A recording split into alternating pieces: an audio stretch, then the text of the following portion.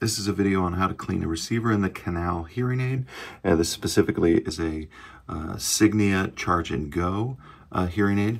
The most common thing I see, and 95% of the time, if it seems like the hearing aid isn't working, it's because this part, the dome, is plugged up. And uh, you should be able to see that that is plugged up with wax. Now these Signia hearing aids have a grid on the end of the dome that's made to catch the wax.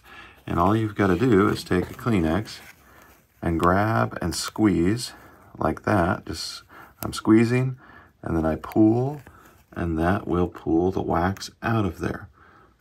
And now that is cleaned out. Now, still got a little bit of wax in there, but just gonna do that a little bit more. And then it's pretty clean. Every morning, you should be taking your brush and just brush across okay? And clean that out. And hopefully you can see the difference in what it looks like when it's clean and when it's full, versus when it's full of wax. Okay. Now sometimes we have to clean this, we have to take this off. Okay. Don't just pull in the rubber part, but fold it back, get your fingernail in between the white plastic and the metal, and that just sort of levers off like that. Sometimes there is wax in the back of there, on your cleaning tool, you have a little metal end like that. And that goes in there. Okay, trying to show it to you as best I can, but just get in there and use that metal deal to clean out the wax that's back there. Okay, that's what it should look like.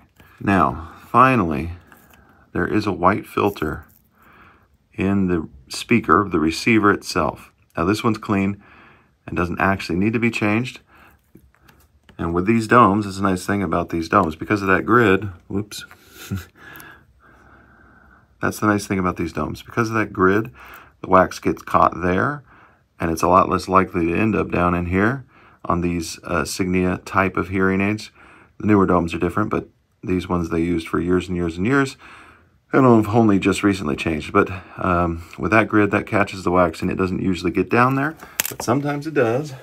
And when you do need to clean the filter, you're going to have these little filter packs. Usually you're going to come with the hearing aids, or you can get it from wherever sold you the hearing aid. You pull out one of these little sticks. There's the new filter. On these older ones, like I said, the brand new AX is different, but these X and everything all back all the way back for about 10 years is this same way. This end screws into the old filter, which is a little bit tricky, but once you screw it in, you can pull it out, flip around the stick, and put the new one in there. And when you push it in and pull out, it stays in place. And there's that.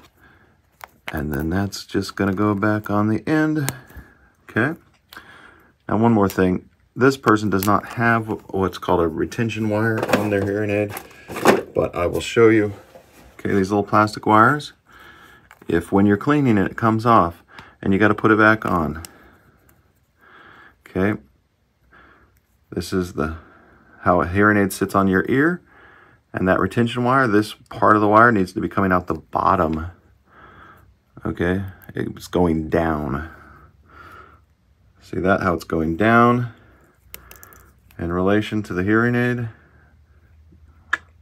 Not like that. That's wrong. Not going out, but going down like that. And then you would just put, push the dome on and you'll hear it click on, okay?